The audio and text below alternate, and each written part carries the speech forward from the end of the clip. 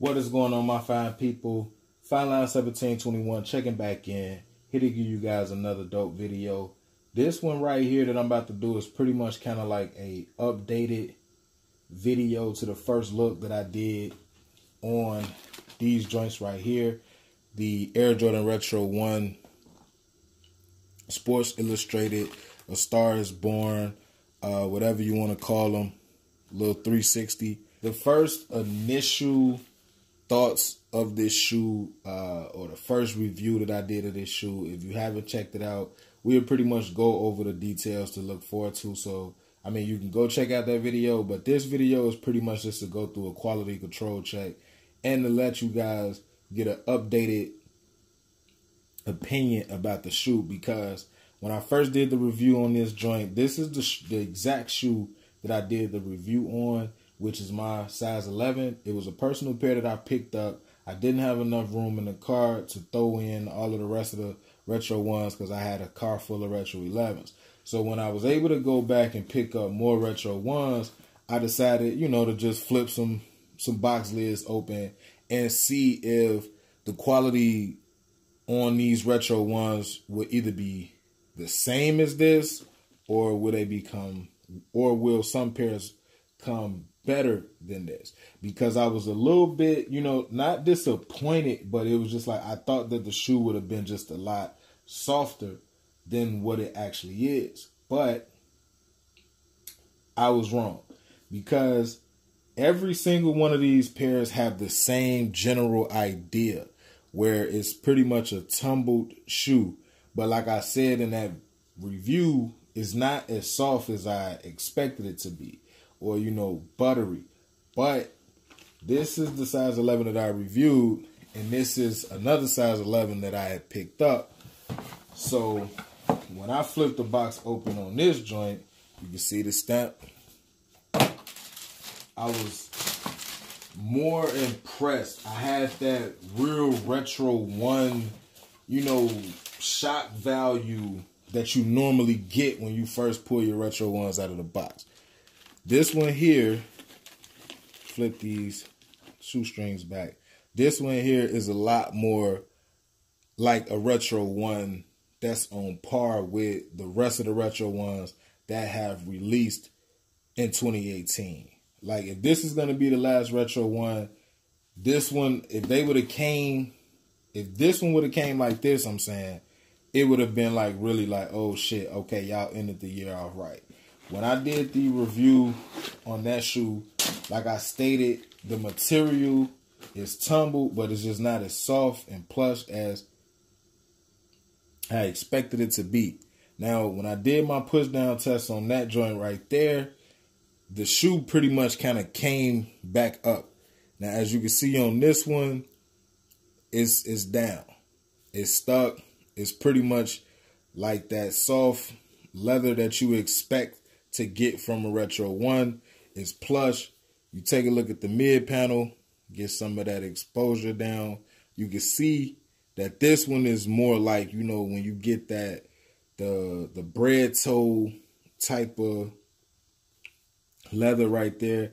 And even on the back, you know, this one is tumbled, but this one just had a little bit more tumble to it right in here and even around the ankle collar. And let's just take a look at a couple more. This is an eight and a half that we're looking at. It's a lot more tumble than that 11 that I was looking at.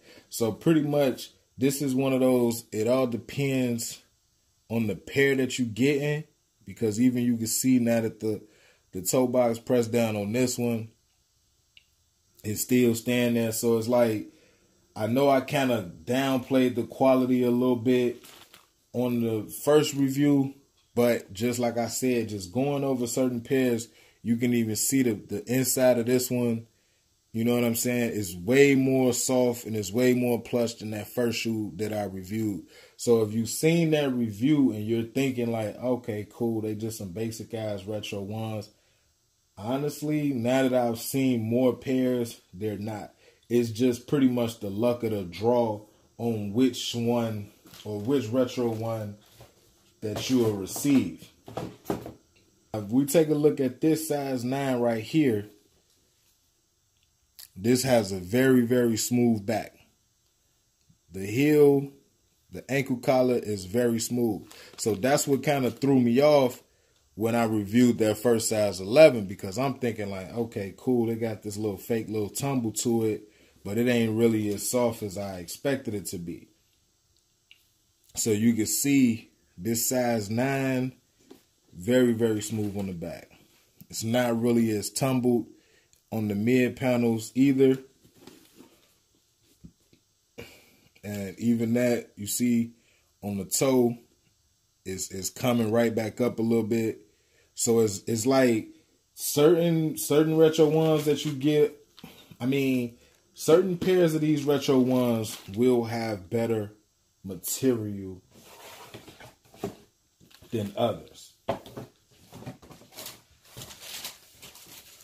So the, the colorway is nice, but different. It's, it's pretty much, you know, back to the retro ones where some of them is nice and tumbled. Some of them is kind of smooth. Like this one has a slight little tumble in it, but it's more smooth like that size 9 that we just reviewed. So me personally, I'm really, really impressed with this size 11. I don't know. I might keep it or I might just give it to Unbreakable. All depends on how I feel because I think this is one of the better size 11s that I'm to find. And also, we got a grade school. Quick little look at the grade school. Let's see how it stacks up with the men pairs. So taking a quick look at the grade school, this is a size 7. Suggested retail on this joint. Uh, did it go up? No, it's 120. As you can see there. But they didn't cut any corners. They gave the grade school sizes the two extra laces. We got some good quality leather on it. Nice and tumble. See if we got some nice little soft well, yeah, it's a nice little flex on the toe box of the grade school size. Good tumble leather. Got your flap. I got the grade school sizes as well on fineline1721.com if you want to pick them up. Something for the little feet.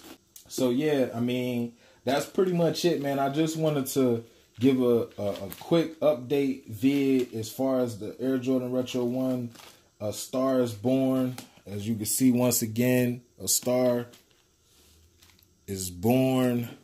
You know, I didn't want to just pretty much leave people feeling like, oh, you know, them these that's a nice little decent little color, but the quality ain't there. Like, yes, the quality is there. It just all depends on the luck of the draw.